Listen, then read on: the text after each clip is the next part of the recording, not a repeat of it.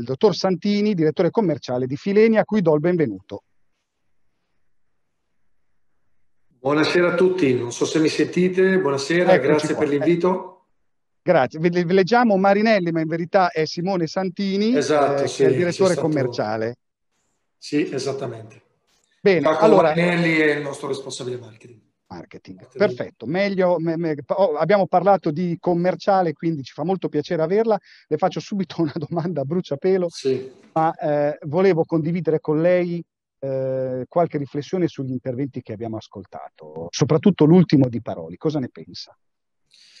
Guardi, io, ehm, io, credo una cosa, adesso al di là di tutto, i temi sono stati toccati, io poi purtroppo, come lei ben sa, mi sono dovuto inserire solamente a metà del percorso, certo. che avevo, avevo un problema ma devo dire che al di là di tutto quello che è importante è che ci sia, mh, che ci sia sempre il consumatore al centro. Ecco.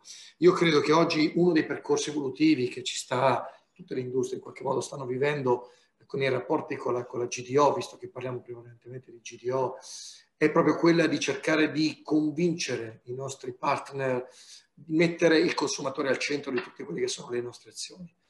E poi è lì l'unico modo per poter poi veramente instaurare questo dialogo diretto che, che serve proprio per valori, massimizzare il valore dei prodotti che poi andiamo ad offrire.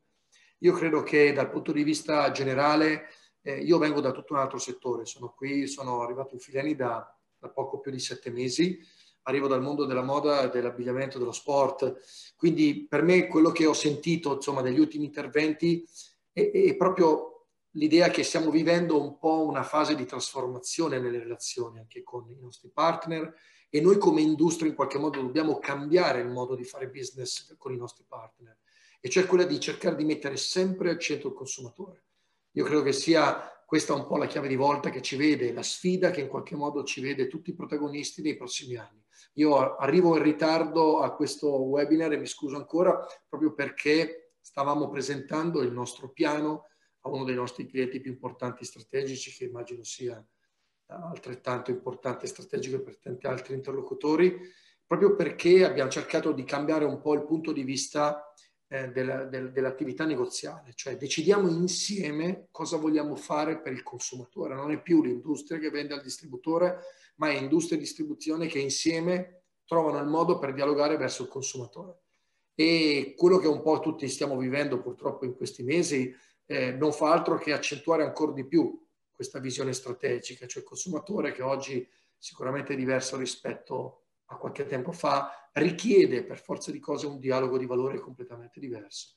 Ed è questo che io penso debba essere un po' il next step che, che l'industria e la distribuzione insieme devono per forza di cose fare se non vogliamo che sia poi Amazon domani a prendere le quote della distribuzione, perché poi è quello un po' quello che sta avvenendo eh, per certi aspetti. Io dico questo perché arrivo da un settore in cui eh, l'avvento dell'online, per esempio, quindi magari tocco un tema eh, al quale magari già stava pensato di arrivare o, o, comunque io credo che sia rilevante discuterne, arrivo da un settore in cui eh, fino a cinque anni fa non si pensava potesse essere così rilevante. Ci sono paesi nel mondo del non della nostra industria, ma di altre industrie dove da 5-6% la quota dell'online è diventata oltre il 50%. Questo perché? Perché chiaramente il consumatore che oggi noi, con tutti, il consumatore con il quale noi cerchiamo di interagire tutti i giorni, è un consumatore più voluto, più informato e che pretende di avere delle informazioni più autentiche. Ecco, senta, proprio a tal riguardo, io le faccio subito una domanda. Um, qual è il ruolo di Fileni nel mercato delle carni? Il nostro ruolo è proprio quello che le dicevo prima, no? la nostra ambizione più che ruolo è quella di portare un valore di autenticità, cioè valore che parte dalla sostenibilità, perché la nostra strategia è fortemente incentrata su tutto ciò che è sostenibilità ambientale e sociale. Quindi il nostro ruolo è quello di essere un player totalmente sostenibile, o perlomeno questa è la nostra ambizione, e che venga visto appunto il brand Fileni non solo come un produttore di prodotti alimentari, ma in qualche modo che possa diventare a tendere un brand che ispira i consumatori sui temi legati alla sostenibilità ambientale e sociale. Ci tengo, ci tengo molto a dire questo proprio perché il nostro ruolo, cioè il ruolo che noi vogliamo ricoprire all'interno del mondo del cane è proprio questo. Ecco, ehm, per esprimere i valori che lei andava citando adesso al consumatore finale, è necessaria un'attività di marketing rilevante. Eh, domando quanto secondo lei è importante il packaging nel, nel mondo delle carni. È molto, importante, è molto importante perché il packaging oggi è una vera e propria piattaforma di comunicazione. Accennavo prima no, i progetti per il 2021 e non solo, il tema della sostenibilità, dell'economia circolare, della filiera controllata, diventano un asset nel momento in cui tu riesci a raccontarlo. Il packaging è uno di questi asset importantissimo, grazie alla realtà aumentata piuttosto che alle attività proprio di comunicazione che si possono sfruttare con i semplici QR code, ma anche con eh, la realtà aumentata, si può davvero ingaggiare il consumatore nel raccontare quelle storie di autenticità. Quindi passi un po' da quello che è classico storytelling allo story being, no? come si dice in gergo marchettaro, e cioè in cui tu la storia che racconti è la tua storia quindi deve emergere l'autenticità. il packaging è il primo contatto diretto che tu hai col consumatore per fare questo, al di là di tutti gli investimenti di cui lei parlava. Però in realtà le do un piccolo dato che è molto rilevante, ehm, il nostro NPS è, molto, è più alto di quello dei nostri competitor. Quindi questo cosa sta a significare? Significa che il consumatore non solo ci apprezza in quello che facciamo, ma ci promuove. Quindi è un indicatore che per chi fa brand è veramente molto rilevante. Vuol dire che ci promuove. E perché ci promuove? Proprio perché mh, riesce a comunicare con noi attraverso il packaging, perché quella sta oltre che la comunicazione istituzionale legata agli spot televisivi, però in realtà il packaging sta veramente dimostrandosi di essere una, una chiave, una piattaforma di comunicazione molto rilevante. Non a caso noi su questo abbiamo innovato moltissimo.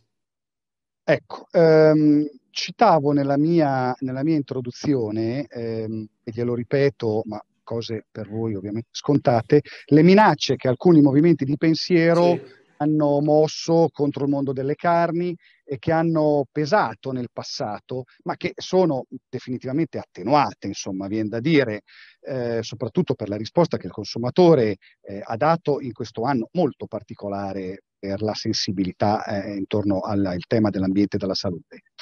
Faccio però questa domanda. Secondo lei e dal suo eh, eh, punto di vista, esistono ancora in questo senso delle minacce latenti? E qual è la, la miglior risposta che l'industria di produzione e trasformazione può dare eh, a questo pensiero, a queste minacce che esistono, se esistono.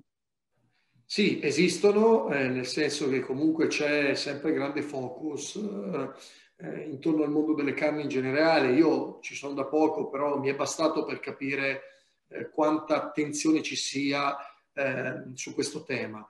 Eh, devo dire che noi stiamo cercando in qualche modo di rispondere con i fatti, cioè come.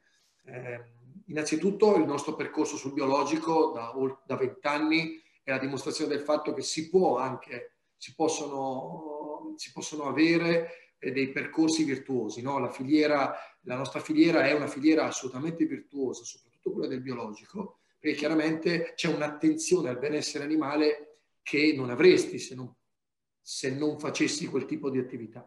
Quindi sicuramente noi riusciamo a rispondere a questi attacchi proprio eh, manifestando e dichiarandoci come dire, in maniera proattiva su tutto il tema legato al benessere alimentare. Noi su questo stiamo facendo una serie di indagini, stiamo cercando di capire come fare per massimizzare ancora di più gli sforzi per far sì che tutti questi, questi movimenti, tutte queste associazioni, che sono fondamentalmente rivolte a garantire il benessere alimentare, possano avere le informazioni necessarie per dimostrare il fatto che Fileni oggi su questo tema è veramente molto avanti. Il biologico ne è una conferma, ma non solo il bio, la, la, questione legata agli allevamenti all'aperto, eh, il pollo arricchito, che sono tutta una serie di tematiche che vanno incontro a quello che è l'European Chicken Commitment, cioè appunto una dichiarazione di intenti che eh, l'Europa, queste associazioni fanno mettendo insieme tutta una serie di richieste alle aziende produttrici per far sì che si possa garantire e dimostrare che la filiera garantisce quelle attenzioni che oggi il consumatore